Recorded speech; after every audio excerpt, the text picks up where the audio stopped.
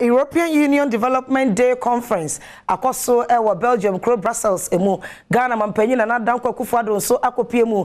Ɛwɔ dwumadie no ase yi a wɔde to european union wɔn anim sɛ premium tag a obi baba bosia ɛwɔ edwaman so a wɔde ɛka ho no ɛdɔɔso nti wɔn hwɛ no wɔn tete so. Sɛ bɛyi a wɔn mu a hɔ abɛbɔ bosia no nso wɔbɛtumi ɛtua bosia no wɔnya foforɔ nso ɛde atere wɔn ekuo no emu. Mampani nana adodankwa akufoado kyerɛ sɛ woba abibiman mu a ɛha ɛyɛ beaeɛ a wodi dwa ɛnya mu ɛmfa so dodoɔ no a wɔsan kyerɛ sɛ abibiman ɛyɛ bea bi a wɔmɔyɛ adeɛ ɛwɔ ɛbisia ho tua ho. Ɔde nsɛm wɔ nyinaa to dwa ɛwɔ brussels belgium 2022 european union development days conference a ɛrekɔ soɔ no ase. Global efforts to help countries correct the devastation caused by the pandemic and also achieve the UN 2030 Sustainable Development Goals are coming up short.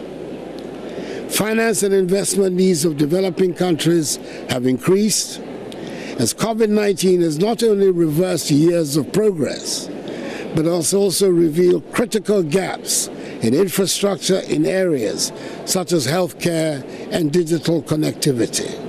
Osi ɛsɛ besia ɛmene abibiman ɛne sɛdeɛ nneɛma boɔ ɛhwi kɔ soro no ɛde nsunsuanso kɛseɛ ɛna ɛto abibiman esi kasɛm ɛne n'ahoɔden ɛsɔ ɔnam so ɛde tɔ eu anim ɛsɛ obi bia ɛmra ɛmɛtae abibiman akyi na edwadeɛ nkɔ we must deal together with tax dodging and illegitimate commercial transactions by multinationals which account for 60% of the annual 88 billion United States dollars of illicit financial flows from the African continent.